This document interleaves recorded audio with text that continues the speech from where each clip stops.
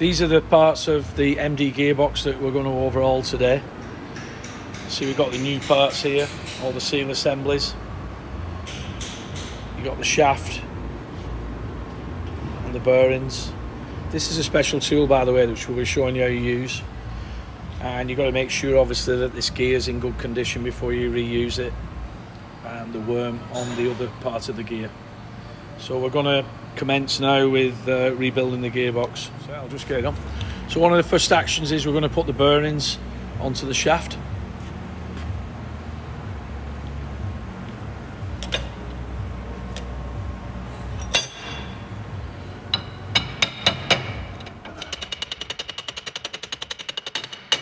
The bearing's now bottomed. Turns freely.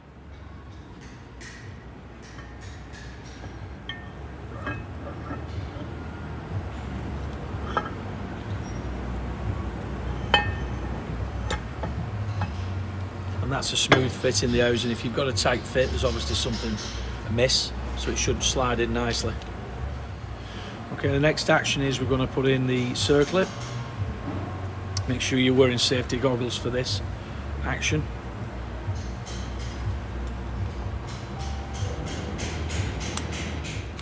So now you can see the circlips in position inside the housing.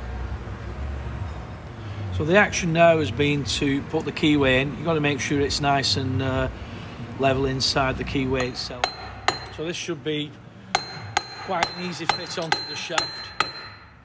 If you have trouble getting it on, then it's most likely you've got some sort of burr on the gear, the keyway or the shaft itself. And there's a retaining washer screw.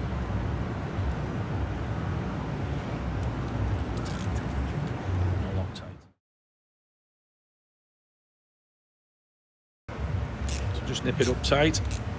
I'll pull the gear down the last bit of the way and uh, you're good to go to the next. So these are the bearings and the shaft uh, with the seal assembly that we're going to assemble inside here now. So that's the next stage you're going to see. Okay, the next stage of the assembly is we're going to place the bearing inside the housing. It's a bit tricky, but you can get it in. You might find that you just have to tap the bearing in lightly to get it to seat. If it goes in off square, it'll be quite difficult to uh, arrange that. So the next part now is we're going to put the shaft in.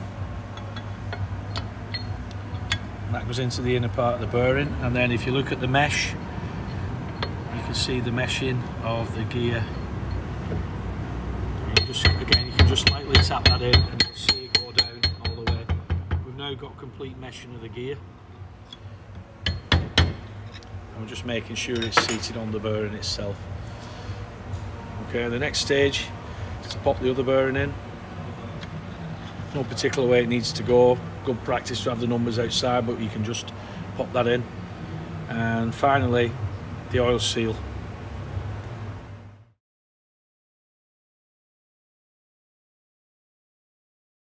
What we're doing is we're just using the old bearing just to seat the uh, oil seal down correctly and we're just going to tap it down.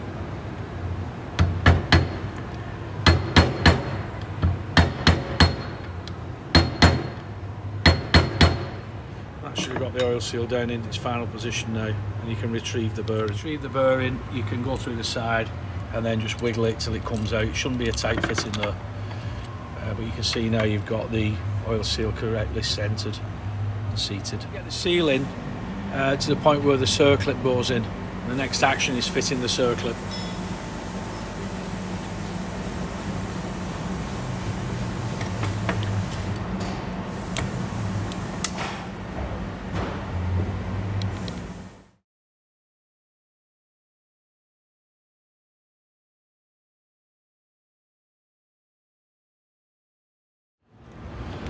So for the seals you've got three types. You've got solid ring,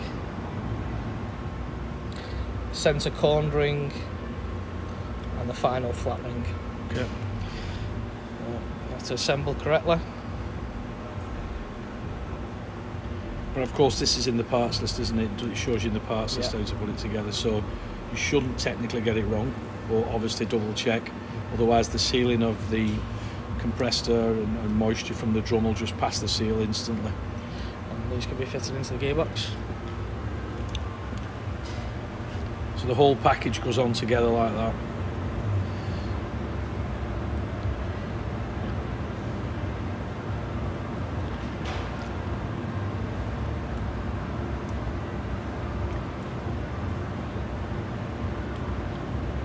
And these are made out of Teflon.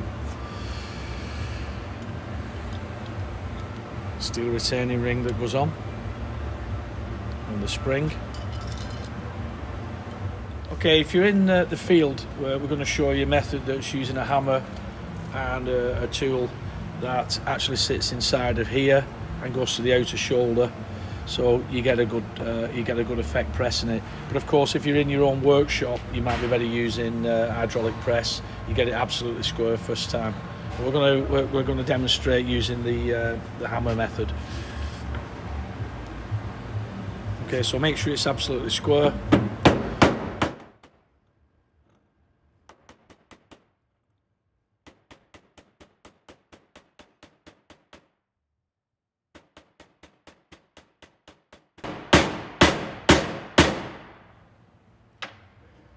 it's got to go down to the bottom. You'll see there's a little lip there. Uh, what we might do now as well, obviously, because it can actually chaff the edge, is we'll just check that edge before we put it onto the uh, shaft and then the housing itself. So we've just uh, cleaned that up, haven't we? And uh, we're now just going to put an O-ring on it. You can put a bit of grease on there as well, which will help with the sealing. So before you actually fit this assembly uh, back in the machine, you should check that this gap has not uh, deviated inwards, which will obviously be a problem when you have to put the pin into the uh, MD drum itself. So just make sure that that's a nice fit. Okay, we're just going to enter this down now onto the shaft through the bush. Should be just a fairly smooth fit.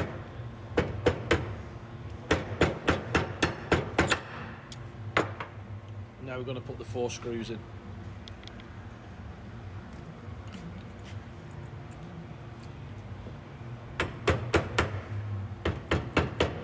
Seats down into the bottom. And then what we're going to do is pull it back down completely against the spring tension with the four screws. Yeah so we're just tightening the uh, four screws now just nip them down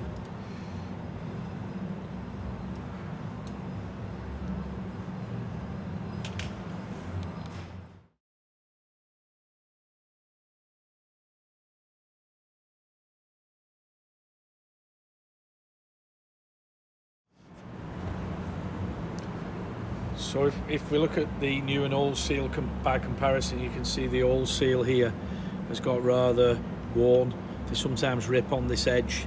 Once it does that, it starts letting moisture back down the centre and it gives you more, more problems.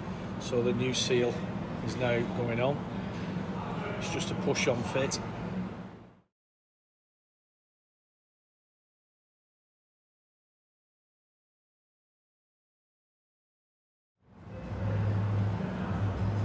That's designed just to push the moisture away from going down the shaft and into the gearbox itself.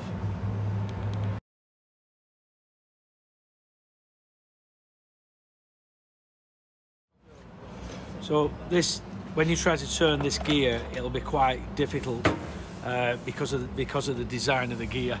So normally you would only be able to turn it uh, from from the shaft you can see now the shaft inside. It's only possible to move it with that. You can't do it by just trying to turn that so don't think there's anything wrong. Just just check it with a screwdriver on that end that everything's free moving. Just a point on fitting the cover. Each one of these is a copper seal because you've actually got uh, oil in the gearbox that you fill it up with. So we don't put any oil in at this stage. We only fit put the oil in after we've fitted the cover. And we fit a new gasket on the cover as well Okay, so you fill in the oil through this part here and the way it works is when you get to this line inside the gearbox, that's sufficient oil, don't overfill it. And of course don't forget to put the oil in or you'll have a very short life of the gearbox itself.